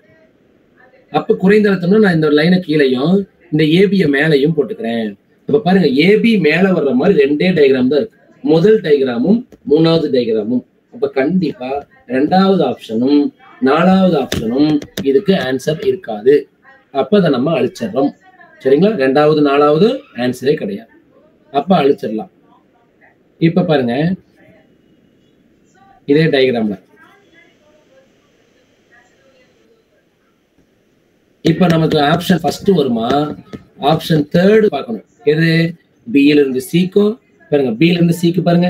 இந்த நிகழ்வு ஒரு வெப்ப பரிமாற்றம் இல்லாத நிகழ்வுன்னு சொல்றேன். ஒரு வெப்ப பரிமா அப்ப இந்த தொடக்க இந்த பியிலிருந்து சிக்கு வரும்போதும் இந்த டியிலிருந்து ஏக்கு போகும்போது பியிலிருந்து ஏக்கு போகும்போதும் வெப்ப பரிமாற்றம் நடைபெறாதுங்கிறாங்க. அப்ப இது ஒரு வெப்ப பரிமாற்றம் இல்லாம நிகழ்வுன்னு சொல்லலாம். ஆனா பாருங்க இந்த சியிலிருந்து பியிலிருந்து சிக்கு வரும்போது டியிலிருந்து ஏக்கு வரும்போது இந்த பரும மாற்றம் அப்படிங்கிறது முதல்ல சின்னதா இருக்கு. முதல்ல சின்னதா தான் அந்த பரும மாற்றம் நடைபெறும். அப்புறம் டில இருந்து ஏக்கு போகும்போது பாருங்க இது டி இங்க இருக்குது ஏ இங்க இருக்குது. அப்ப இந்த பரும மாற்றத்தை இந்த பரும மாற்றம் கம்மி. அந்த டயக்ராம்ல வச்சு பார்த்தோம்னா அப்போ இந்த பரும மாற்றத்தை பார்க்கும்போது முதல் டயக்ராம் மூணாவது டயக்ராம் பார்க்கும்போது எனக்கு இந்த பில இருந்து சிக்கு வரும்போது வளையுது இல்லைங்களா? அது முதல் டயக்ராம் தான் கரெக்டான மேட்சிங்கா இருக்கு. ஏன்னா பியிலிருந்து சிக்கு போகும்போது வளைஞ்சிருது பாருங்க. அப்போ முதல் டயக்ராம்ல பார்க்கும்போது பில இருந்து சிக்கு வரும்போது இந்த மாதிரி வளைவா வரணும்.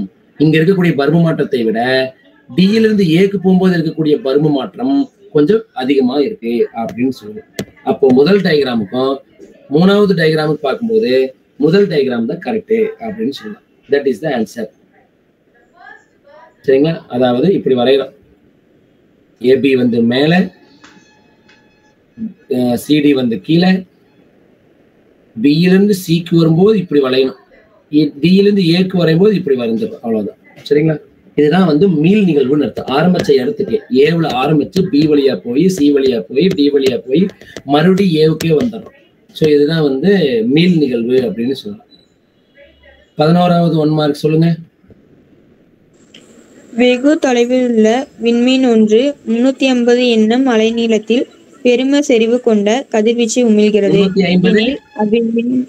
முன்னூத்தி ஐம்பது. என்எம் அலைநீளத்தில். நானோமீட்டர் தானேங்க சார்? என்எம்னா என்னமா நானோமீட்டர் நானோமீட்டர் தானேங்க சார். என்எம்னு படிக்க தான். வெகு தொலைவில் உள்ள விண்மீன் ஒன்று. வெகு தொலைவில் உள்ள விண்மீன் ஒன்று. விண்மீன் ஒன்று. முன்னூத்தி நூற்றி ஐம்பது நேனோமீட்டர் அலைநீளத்தில் பெரும செறிவு கொண்ட கதிர்வீச்சு உமிழ்கிறது எனில் அவ்விண்மீனின் வெப்பநிலை என்னன்னு கேட்குறது இது வந்து நமக்கு ஸ்டீஃபன் விதி வியனின் இடப்பெயர்ச்சி விதி. இந்த ரெண்டு விதி படிக்கிறோம். ஸ்டீஃபன் விதி என்ன சொல்லுது கேட்டா உமிழப்படும் கதிர்வீச்சினுடைய அந்த ஆற்றல் எப்படி இருக்கும்னு கேட்டால் வெப்பநிலையும் நான்கு மடி மதிப்பிற்கு நேர்த்தகவில் இருக்கும்னு படிச்சோம் இது ஸ்டீஃபன் விதி அப்போ ஆற்றலையும் வெப்பநிலையும் தொடர்புபடுத்தி கேட்டால் இந்த ஃபார்முலா யூஸ் பண்ணிக்கலாம். ஆனா இவங்க என்ன இது வந்து எழுதிக்கலாம் இருங்க. ஸ்டீஃபன் விதி அப்படின்னு சொல்லி. ஸ்டீஃபன் விதி. இப்ப நமக்கு என்னன்னா லேம்டா அதாவது அலைநிலத்தையும் வெப்பநிலையும் கேட்டுருக்குறாங்க. அப்போ அலைநீளத்தையும் வெப்பநிலையும் தொடர்புபடுத்தி நான் ஒரு சமன்பாடு எழுதணும்னா அது இதுதான். Lambda M equal to B by T இதுக்கு பேரு வியனின் இடப்பெயர்ச்சி விதின்னு சொல்லலாம். இதுக்கு பேர் என்னங்க? அப்படின்னு சொல்லலாம். இப்போ என்ன கொடுத்துட்டாங்கன்னா வெப்பநிலையை அவங்க கொடுத்து வெப்பநிலையை கேட்கறாங்க அலைநீளத்தை கொடுத்துட்டாங்க. இந்த பிங்கிறது என்னன்னு கேட்டா வியனின் மாறிலி அப்படின்னு சொல்லலாம். பிங்கிறது என்னங்க? வியனின் மாறிலி. இந்த பியோட மதிப்பு நமக்கு ஆல்ரெடி தெரிஞ்சிருக்கணும். இது ஒன் மார்க்ல எல்லாம் கொடுக்கல பாருங்க. அப்ப நமக்கு தெரிஞ்சிருந்தா தான் எழுத முடியும். இந்த வியன் மாறிலி எவ்வளவுன்னு கேட்டா two point eight nine eight ரெண்டு புள்ளி எட்டு ஒன்பது எட்டு இன்ட்டு பத்தின் அடுக்கு மைனஸ் மூணு மீட்டர் கெல்வின் அப்படின்னு சொல்லலாம் மீட்டர் கெல்வின் அப்படின்னு சொல்லலாம் இப்ப என்ன கொடுத்துட்டாங்க? லேம்டாவும் கொடுத்துட்டாங்க. என்ன கொடுத்துட்டாங்க? பெரும் அலைநீளம் ஒண்ணு. முன்னூத்தி ஐம்பது மீட்டர் அப்ப இதை பத்து நடுக்கு மைனஸ் ஒன்பது மீட்டர். இப்ப என்ன கேக்குறாங்கன்னா வெப்பநிலை என்னவா இருந்திருக்கும் அப்படின்னு கேக்குறாங்க. சரி அடுத்த பேஜ் போயிடலாம். கவனிங்க. ஃபார்முலா என்ன? வெப்பநிலை தான் கேக்குறாங்க. அப்ப T equal to B divided by lambda M பியினுடைய மதிப்பு என்னங்க? ரெண்டு புள்ளி எட்டு ஒன்பது எட்டு இன்ட்டு பத்து நடுக்கு மைனஸ் மூணு டிவைட் பை முன்னூத்தி ஐம்பது அப்படின்னு வச்சுக்கோ. என்ன சொல்றாங்க? முன்னூத்தி ஐம்பது. இப்ப ரெண்டுக்கும் லாக் கண்டுபிடிக்கணும். நமக்கு ஒன் மார்க்ல லாக் கொடுப்பாங்க. நீட் எக்ஸாம்ல இதை கொஞ்சம் ஈஸியா கேன்சல் ஆகுற மாதிரி கொடுப்பாங்க. ஒரு அப்ராக்சிமேட்டா நான் சொல்லலாம்னா இந்த ரெண்டு புள்ளி எட்டு ஒன்பது எட்டை நான் வேற மாதிரி மாத்திர அதாவது எப்படி இல்லைன்னா இரநூத்தி ஒன்பது புள்ளி எட்டு இன்ட்டு பத்து நடுக்கு. ரெண்டு ஸ்தானம் தள்ளி புள்ளி வச்சுட்டு பாருங்க. அப்ப பத்து நடுக்கு மைனஸ் அஞ்சு டிவைட் பை முன்னூத்தி ஐம்பது. இது அப்ராக்சிமேட்டா எழுதணும்னு வச்சுக்கோங்களேன். இரநூத்தி எண்பத்தி ஒன்பது ஒரு முந்நூறுன்னு வச்சுக்கிறேன்னு வச்சுக்கோங்க. அப்போ முந்நூறு டிவைட் பை முன்னூத்தி ஐம்பது இன்ட்டு பத்து நடுக்கு மைனஸ் அஞ்சு. இது அப்ராக்சிமேட்டா தான் பாருங்க. நம்மகிட்ட லாக் புக் இல்லை. கால்குலேட்டர் கொடுக்க மாட்டாங்க. அப்போ அப்ராக்சிமேட்டா வச்சுதான் நம்ம பார்த்தாகணும். அப்போ முந்நூறையும் முந்நூத்தம்பது எதால வகுக்கலாம்? அஞ்சால வகுக்க முடியுமா? இல்ல ஐம்பதால வகுக்கலாம் இல்லையா? ஐம்பதால வகுக்க முடியுமா? ஆறு ஐம்பது முந்நூறு ஏழு ஐம்பது முந்நூத்தம்பது இன்ட்டு பத்து நடுக்கு மைனஸ் அஞ்சு. ஆறை ஏழால வகுக்கணும். அப்ப ஜீரோ புள்ளின்னு வச்சா இது அறுபது. அறுபதுல எத்தனை ஏழு இருக்கும்? எட்டு ஏழு இருக்கும் எட்டு ஏழு ஐம்பத்தி ஆறு. அதுக்கப்புறம் நாலு. நாலுன்னா ஒரு ஜீரோ பண்ணாம நாற்பது நாற்பதுல எத்தனை ஏழுங்க? நாற்பதுல நாலுன்னு போட்டா ஏழால வைக்க முடியாது. நாற்பதுல எத்தனை ஏழு இருக்கும்? அஞ்சு ஏழு இருக்குமா? அஞ்சு ஏழுன்னு போடுறேன். ஒரு அப்ராக்சிமேட்டா போடுறேன். அஞ்சு ஏழு முப்பத்தி அஞ்சு மிச்சம் அஞ்சு ஐம்பது. ஐம்பதுல எத்தனை ஏழு இருக்கும்? ஏழு ஏழு நாற்பத்தி ஒன்பது அப்போ மிச்சம் ஒரு ஒன்று அப்போ ஒண்ணுன்னா பத்து. ஓர் ஏழு ஏழு. இப்படியே போயிட்டே இருக்கும் அப்ப பாருங்க. புள்ளி எட்டு அஞ்சு ஏழு ஒன்று இன்ட்டு பத்து நடுக்கு மைனஸ் அஞ்சு. இதை நான் என்ன பண்றேன்? நாலு ஸ்தானத்துல புள்ளி வைக்கிறேன். ஒன்னு ரெண்டு மூணு நாலு. ஆல்ரெடி பாருங்க இங்க என்ன இருக்கு? டென் பவர் மைனஸ் அஞ்சு இருக்கா? ஆஹ் இதுல முன்னூத்தி ஐம்பது நேனோமீட்டர் விட்டுட்டோம் பாருங்க. டென் பவர் மைனஸ் நைனை விட்டுட்டேன். அப்ப டென் பவர் மைனஸ் நைன் மேல போச்சுன்னா டென் பவர் பிளஸ் நைன் ஆயிரும்.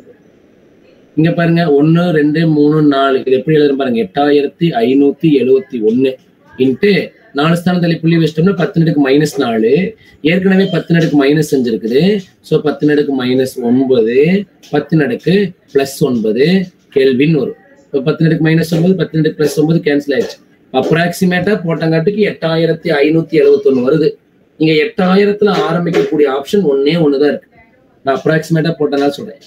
அக்யூரேட்டா போட்டதா இது உங்களுக்கு வகுத்து நீங்க போட்டுக்கலாம். எப்படி போடுறது? இது வந்து இரநூத்தி தொண்ணூறு வச்சு கூட நம்ம எழுதலாம். இரநூத்தி தொண்ணூறு ஜீரோ ஜீரோ கேன்சல் பண்ணலாம்.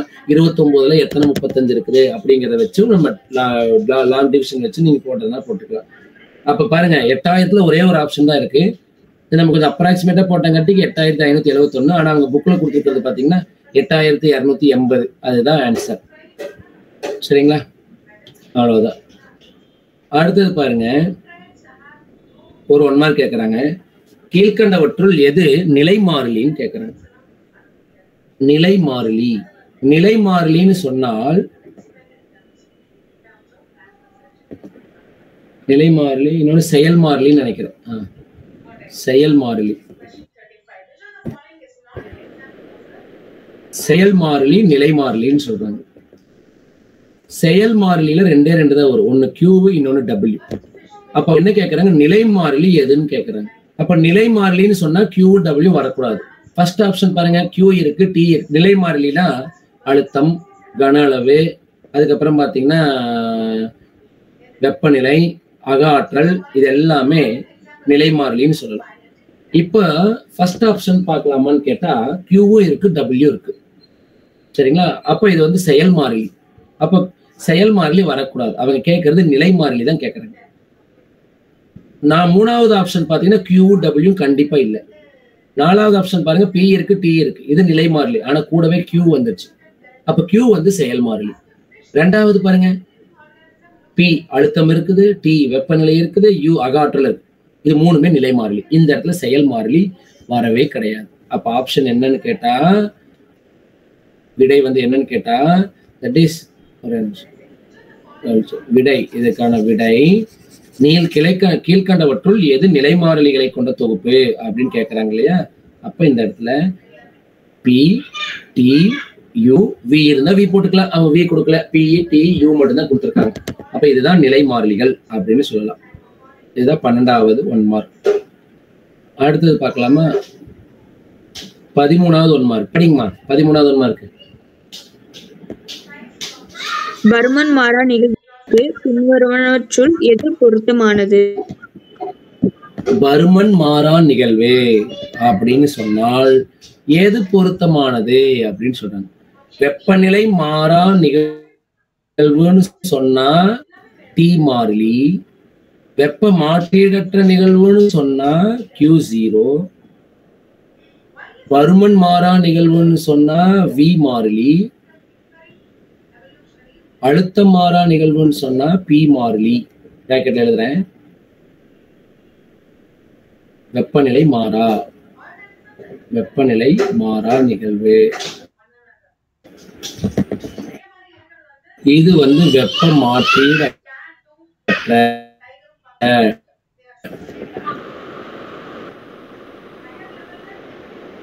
வெப்ப மாற்றி இது வந்து பருமன் மாறாரா. இப்ப அவங்க என்ன கேக்குறாங்கன்னா பருமன் மாறா நிகழ்வுக்கு எது எடுத்துக்காட்டுன்னு கேக்குறாங்க. நல்லா கவனிங்க.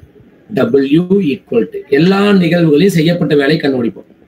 அப்ப இந்த செய்யப்பட்ட வேலை என்னன்னு கேட்டா W equal to P into delta V இல்ல பிடிவின்னு சொல்லலாம். பிடிவி ஈக்குவல் டு என்ன?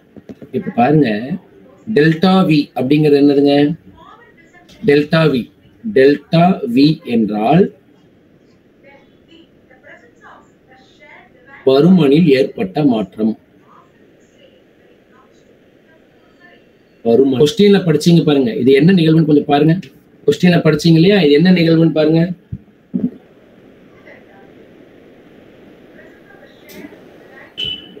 இது என்ன நிகழ்வுமா? நீங்க கொஸ்டின்ல பருமன் மாறா நிகழ்வு. பருமன். மாறான்னு இங்க பருமன் மாறக்கூடாதுங்கிறாங்க. அப்ப டெல்டா வியில ஏற்பட்ட மாற்றம் சுழினா பாருங்க டெல்டா வியில ஏற்பட்ட மாற்றம் சுழி அப்படின்னு சொன்னால் இது கூட பிஐ நான் பெருக்கும் போது அதுவும் சுழி. அப்ப என்னன்னு சொல்லலாம்னு கேட்டா டபிள்யூ ஈக்குவல் டு ஜீரோ வருமன் மாறா நிகழ்வில் செய்யப்பட்ட வேலை சுழின்னு சொல்லலாம். ஆப்ஷன் இருக்குதா அது? ஆப்ஷன் இருக்குதா இருக்குங்க இருக்கு sir sir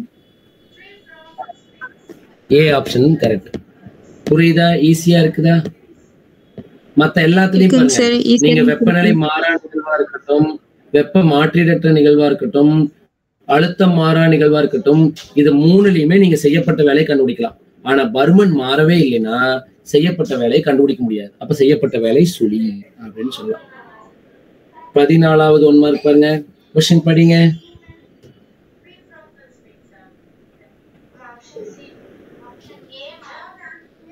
நீரின் உறைநிலைக்கு அதன் கொதிநிலைக்கும் இடையே நீரின் உறைநிலைக்கும் அதன் கொதிநிலைக்கும் இடையே. இயங்கும் வெப்ப இயந்திரத்தின் ம். பயனுறு திறன். பயனுறு திறன் என்ன? வெப்ப எண்ணத்து நீரின் உறைநிலை எவ்வளவுன்னு யாருக்காவது தெரியுமா? நீரின் உறைநிலை? Zero degree Celsius. Zero degree Celsius இத கெல்வின்ல சொன்னா எப்படி சொல்லுவீங்க? இத எப்படி கெல்வின்ல சொல்லுவீங்க?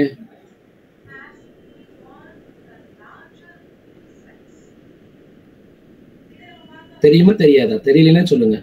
செல்சியஸ்ல இருந்து கெல்வினுக்கு மாத்தணும். யாருக்கா தெரியுமா? தெரியலைங்க சார். தெரியலன்னா தெரியலன்னு சொல்லுங்க. ஜீரோ டிகிரி செல்சியஸ் அப்படின்னா இருநூத்தி எழுவத்தி மூணு கெல்வின். ஜீரோ டிகிரி செல்சியஸ்னா இருநூத்தி எழுவத்தி மூணு கெல்வின்.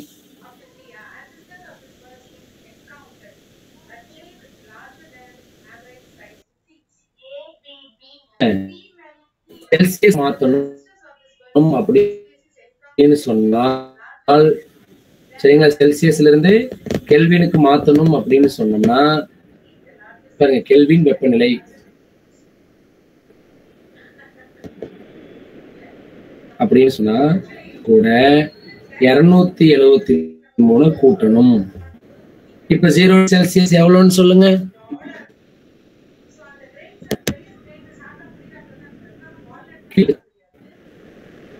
செல்சியஸ் வெப்பநிலையவோ அது கூட இருநூத்தி எழுவத்தி மூணு கூட்டணும் ஈஸியா கண்டுபிடிச்சிடலாம். இப்ப பாருங்க ஜீரோ எழுபத்தி டிகிரி செல்சியஸ்னா எவ்வளவு வருங்க? இருநூத்தி எழுபத்தி மூணு கெல்வின் சார் ஜீரோ டிகிரி இருநூத்தி எழுவத்தி மூணு கெல்வின் இப்ப நீங்க தான் சொல்லணும். நீரின் கொதிநிலை வெப்பநிலை நீங்க போட்ட. இருங்க இதை அழிச்சிடுறேன். நீர் எப்ப கொதிக்க ஆரம்பிக்கும்னு சொல்லுங்க. வெப்பப்படுத்தும் போது எப்ப கொதிக்கும்? நூறு டிகிரி செல்சியஸ் நூறு எந்த டிகிரி எந்த வெப்பநிலையில கொதிக்க ஆரம்பிக்கும்? நூறு டிகிரி செல்சியஸ் இத கெல்வினுக்கு மாத்தி சொல்லுங்க. முன்னூத்தி எழுபத்தி மூணு கெல்வின் சார் எவ்வளவு சாமி? முன்னூத்தி எழுபத்தி. மூணு கெல்வின். முன்னூத்தி எழுவத்தி மூணு கெல்வின். ஆஹ் இப்போ பயனுறு திறன் கேட்குறாங்க வெப்ப இயந்திரத்தின் பயனுறு திறன் எவ்வளோ அப்படின்னு கேட்குறாங்க பயனுறு திறன்.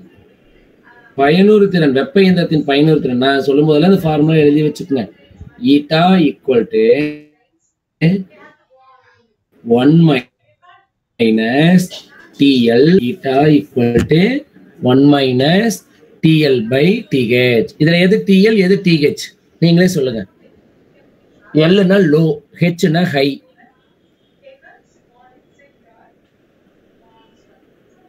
எது டிஎல் எது டிஹெச் எழுபத்தி மூணு கெல்வின் இருநூத்தி எழுபத்தி மூணு கெல்வின் வந்து டிஎல் சார் முன்னூத்தி எழுபத்தி மூணு வந்து டிஹெச் சார்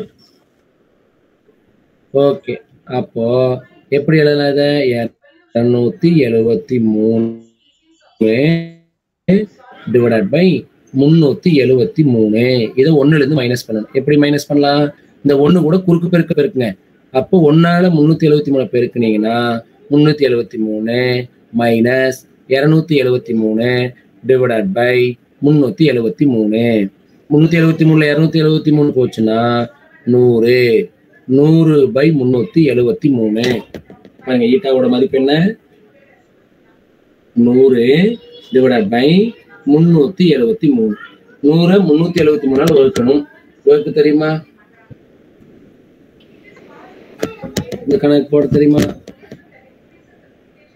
கவனிங்க. ஈட்டா ஈக்குவல் டு நூறு பை முன்னூத்தி எழுவத்தி மூணு. நூறை முன்னூத்தி எழுவத்தி மூணால பெருக்கணும். ஜீரோன்னு நான் வச்சுக்கிறேன். அப்போ ஆயிரம் வரும்.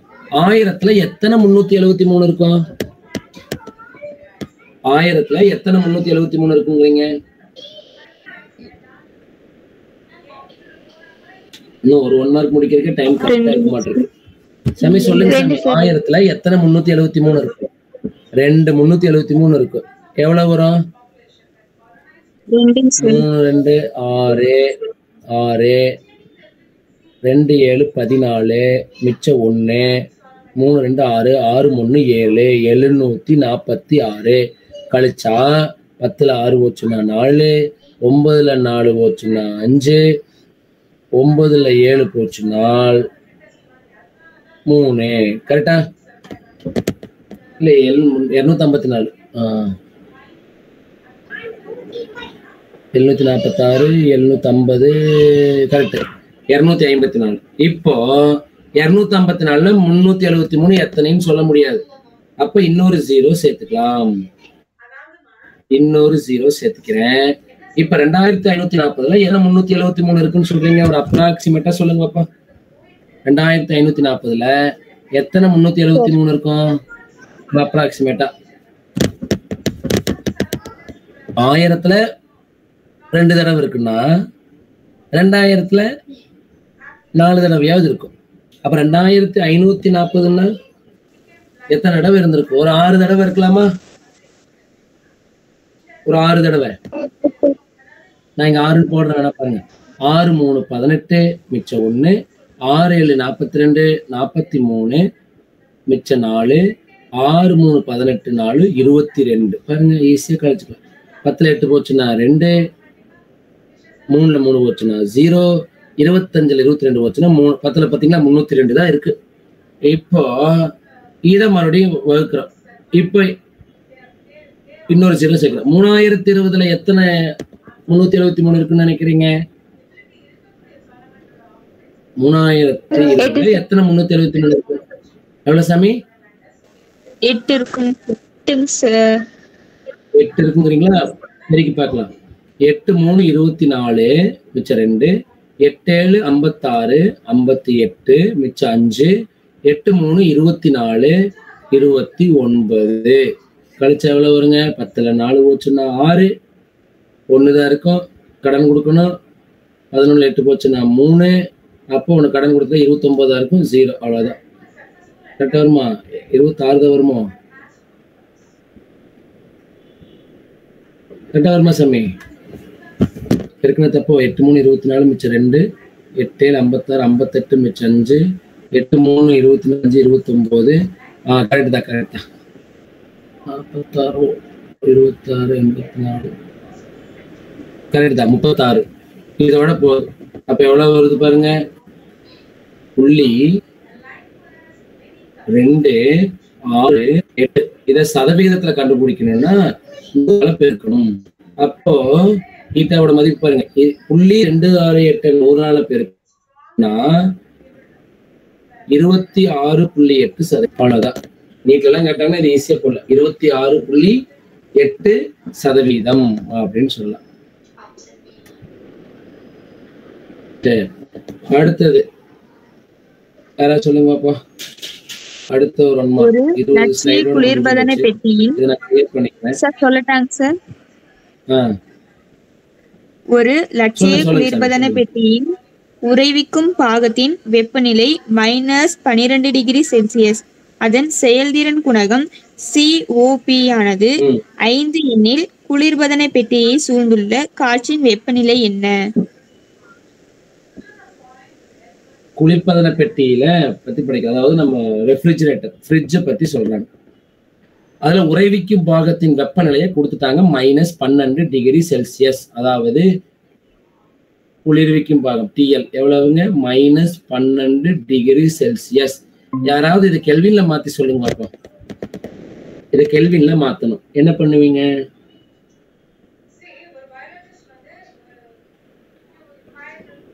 நூறால கூட்டுவோம் சார். என்ன சொன்னேன் இல்லையா செல்சியஸ்ல இருந்து கெல்வினுக்கு மாத்தணும்னு சொன்னா என்ன சொன்னேன்? நூறால ஆ இரநூத்தி எழுவத்தி மூணால கூட்டணும் சார். இருநூத்தி எழுபத்தி மூணு நாள் கூட்டணும். கூட்டினா எவ்வளவு வருங்கிறீங்க? நான் போட்டா மைனஸ் பன்னெண்டு. பிளஸ் இருநூத்தி எழுவத்தி மூணு. கூட்டினா எவ்வளவு வருங்க? இருநூத்தி அறுபத்தி ஒண்ணு. கெல்வின் வருங்களா? நம்ம எப்பவுமே வெப்பநிலையை கெல்வின்ல வச்சுதான் போடணும். அதுக்காக கெல்வின்ல மாத்திரம் நீங்க யாருமே எங்கிட்ட இது வரைக்கும் கேட்கவே இல்லை. இப்போ எதுக்குங்க சார் சரி கல்வினுக்கு மாத்திரம் அப்படின்னு கேட்கணும் இல்லையா? யாருமே கேட்கல. வெப்பநிலையினுடைய அடிப்படை அழகு வெப்பநிலையினுடைய எஸ்ஐ அழகு கெல்வின் தான். அதனால செல்சியஸ்ல இருந்தாலும் ஃபேரன் ஹீட்ல இருந்தாலும் கெல்வினுக்கு மாத்தணும். அதனாலதான் கெல்வினுக்கு மாத்திக்கணும் இப்ப இதுல சிஓபின்னு கொடுத்துட்டாங்க. இது பேர் என்ன? கோஎஃபிஷியன்ட் ஆஃப் பெர்ஃபார்மன்ஸ் அர்த்தம். அதாவது செயல்திறன் குணகம் அப்படின்னு சொல்லலாம். அப்போ இந்த மதிப்பு அஞ்சுன்னு கொடுத்துட்டாங்க. இதுதான் பீட்டா. நம்ம ரெஃப்ரிஜரேட்டர் படிக்கும்போது நம்மளுக்கு ஒரு ஃபார்முலா இருக்கு. அதாவது beta equal to TL minus divided by TH minus டிஎல்னு சொல்லலாம். டிஹெச் மைனஸ் டிஎல்னு சொல்றாங்க. என்ன கேட்கறாங்கன்னா உயர்ந்த வெப்பநிலை இப்ப எனக்கு பீட்டா கொடுத்துட்டாங்க டிஎல் கொடுத்துட்டாங்க. நமக்கு என்ன தெரியாது? டிஹெச் வந்து எவ்வளவுன்னு தெரியவே தெரியாது. அப்படின்னா இது எப்படி எழுதலாம் பார்த்துக்குங்க. TH minus TL equal to TL by பீட்டான்னு எழுதலாம். எனக்கு டிஹெச் தான் வேணும். அப்ப டிஎல் அந்த பக்கம் கொண்டு போயிடலாம். அப்ப டிஎல் பை பீட்டா பிளஸ் டிஎல்னு எழுதிக்கலாம். இப்போ இது எப்படி எழுதலாம்னு பாருங்க. டிஹெச்சோட மதிப்பு வேணும் இல்லைங்களா? டிஎல் எவ்வளோங்க? இரநூத்தி அறுபத்தி ஒன்று பீட்டா எவ்வளவு? அஞ்சு.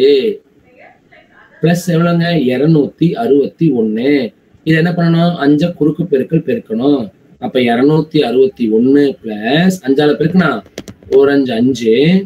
அஞ்சாறு முப்பதுக்கு ஜீரோ மிச்சம் மூணு. அஞ்சு ரெண்டு பத்து. பதிமூணு. ஆயிரத்தி முன்னூத்தி அஞ்சு டிவைட் பை அஞ்சு. ஆயிரத்தி முன்னூத்தி அஞ்சையும் இருநூத்தி அறுபத்தி ஒன்னு கூட்டினா எவ்வளவு வருங்க? அஞ்சு மூணு ஆறு. அப்புறம் ஒரு ஆறு. ரெண்டு மூணு அஞ்சு. ஒரு ஒன்னு டிவைட் பை அஞ்சு. இதை கல வந்து நம்ம கேன்சல் பண்ணணும்? கேன்சல் பண்ணலாம் இல்லைங்களா? அஞ்சால கேன்சல் பண்ணா ஒரு அஞ்சு அஞ்சு மூணு அஞ்சு பதினஞ்சு. சரிங்களா? ஆறுல ஒரு அஞ்சு இருக்கும். அப்புறம் மிச்சம் ஒன்று அப்படித்தானே? அப்ப பதினாறுல மூணு அஞ்சு இருக்கும். அப்புறம் மூணு அஞ்சு பதினஞ்சு மிச்சம் ஒன்று புள்ளி வச்சீங்கன்னா பத்து. பத்துல எத்தனை அஞ்சு இருக்குன்னு கேட்டா ரெண்டு அஞ்சு இருக்கும். அப்ப என்ன வரும் பாருங்க முன்னூத்தி பதிமூணு புள்ளி ரெண்டு கெல்வின். இதுதான் டிஹெச் சார் இந்த மதிப்பே இல்லையே என்ன பண்றதுன்னு கேட்டா அவங்க ஆன்சர் எல்லாம் என்ன கொடுத்துருக்காங்க பாருங்க செல்சியஸ்ல கொடுத்துருக்காங்க. நம்ம கண்டுபிடிச்ச ஆன்சர் கெல்வின்ல இருக்கு. செல்சியஸ்ல இருந்து கெல்வினுக்கு மாத்தணும்னா இருநூத்தி எழுவத்தி மூணு கூட்டினீங்க. கெல்வின்ல இருந்து செல்சியஸ்க்கு மாத்தணும்னா என்ன பண்ணுவீங்க? இரநூத்தி எழுவத்தி மூணு கழி கழிக்கணும் சார் ஆஹ் கழிச்சு சொல்லுங்க பாப்போம் மைனஸ் இரநூத்தி எழுவத்தி மூணு. நான் சைடில் போடுறேன். நீங்களே சொல்லுங்க முன்னூத்தி பதிமூணு. டிஹெச்சோட மதிப்பு முன்னூத்தி பதிமூணு ரெண்டு கெல்வின் இதுல இருந்து இருநூத்தி எழுவத்தி மூணு கழிக்கணும். கழிச்சால் எவ்வளவு வருங்க? ரெண்டு. சரி கெல்வின் ஜீரோ முப்பத்தொன்னுல இருபது போச்சுன்னா நாற்பது. அப்ப டிஹெச்சோட மதிப்பு நாற்பது புள்ளி அவ்வளோதான் இங்கே கே வேண்டாம். கே இந்த யூனிட் நம்ம கெல்வின் செல்சியஸ் மாத்திரம். ஆன்சர் இருக்குதா?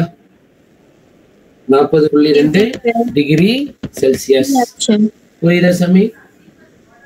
புரியுதுங்க சார். புரியுதா? ரெண்டு- ஃபார்முலா ஞாபகம் வச்சுக்கணும். ஒண்ணு இருங்க சொல்லிடுறேன். ஒண்ணு ஒரு ரெண்டு ஃபார்முலா ஞாபகம் வச்சுக்க சொன்னாலே வெப்ப இயந்திரம்னு கேட்டால் அங்க பயனுறு திறன் கேட்டாங்கன்னா one minus TL divide by டிஹெச்னு போடுங்க. இல்லைன்னா இது இப்படி கூட எழுதலாம். TH minus TL divided by டிஎல்னு எழுதலாம். இந்த மதிப்பு தான் ஈட்டா. பயனுறு திறன் குளிர்பதன பெட்டியை பத்தி பேசினாங்கன்னா சிஓபி பத்தி தான் கொடுப்பாங்க. அப்படின்னா டிஎல்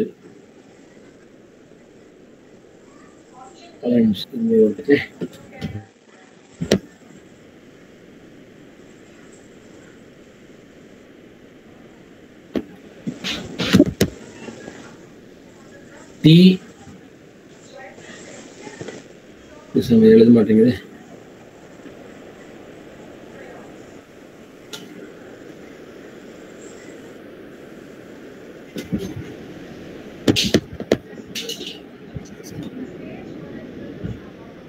ஒரே நிமிஷம் இது எழுதல.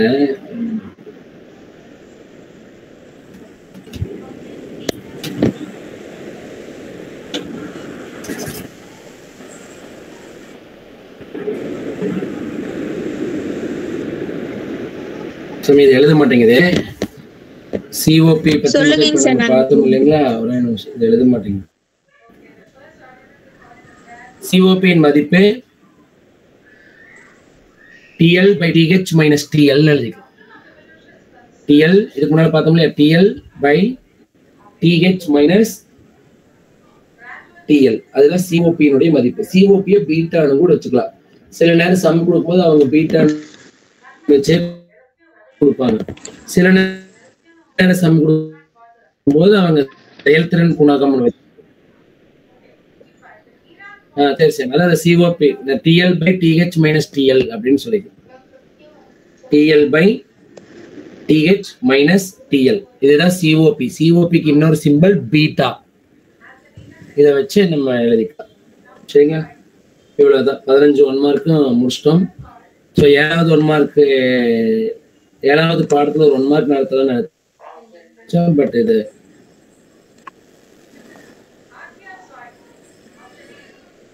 பெண் வேலை செய்ய மாட்டேங்குது.